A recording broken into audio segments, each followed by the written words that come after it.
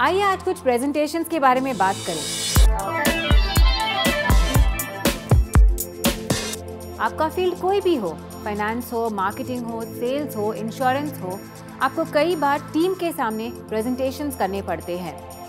आपका subject matter तो important होता ही है, लेकिन उससे ज़्यादा इंपॉर्टेंट होती है उसकी पैकेजिंग मतलब उसका प्रेजेंटेशन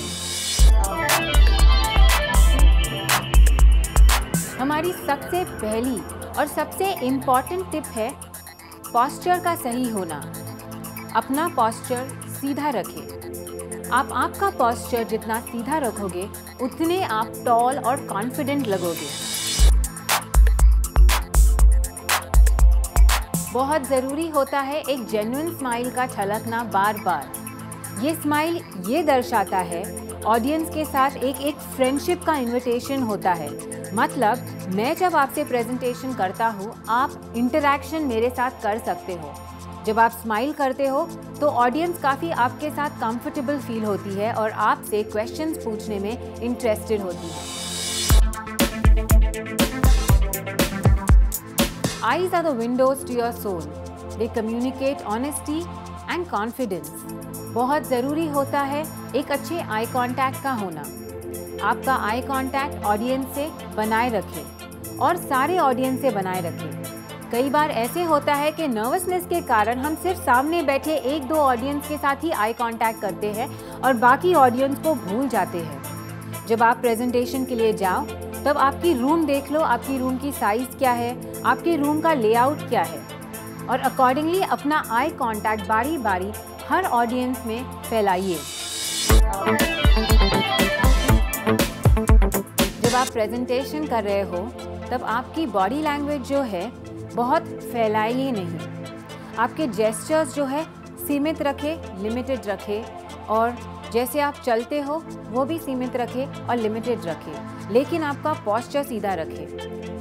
ये जो जेस्चर्स होते हैं, वो लीडर्स के होते हैं। और अगर आपको दिखाना है ऑडियंस को कि आपको सब्जेक्ट मैटर एक्सपर्टीज़ है। आपको अगर उनके सामने एक इंटेलेक्चुअल की तरह पेश आना है तो आप अपनी बॉडी लैंग्वेज को थोड़ा सा लिमिटेड रखें, बहुत आप एनिमेटेड ना हो जाए।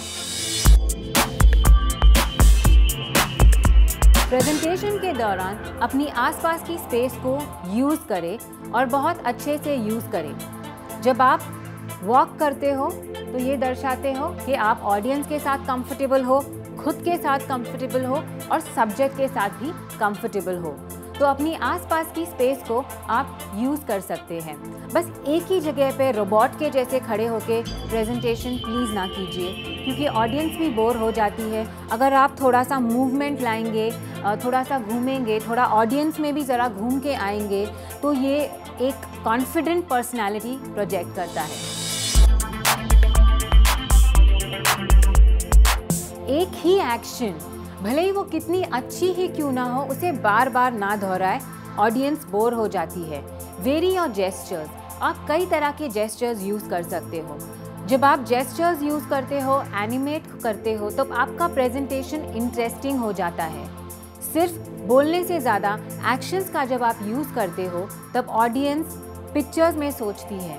आपके डिस्क्रिप्शन से और हाथों से ऑडियंस के सामने एक पिक्चर आ जाता है, जिसके वजह से आपके प्रेजेंटेशन में वो दिलचस्पी लेते हैं।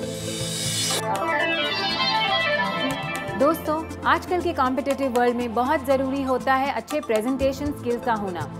याद रखिए, आपके जॉब स्किल से भी ज़्यादा, आपके प्रेजेंटेशन स्किल्स ज़्यादा ज़रूरी होते हैं।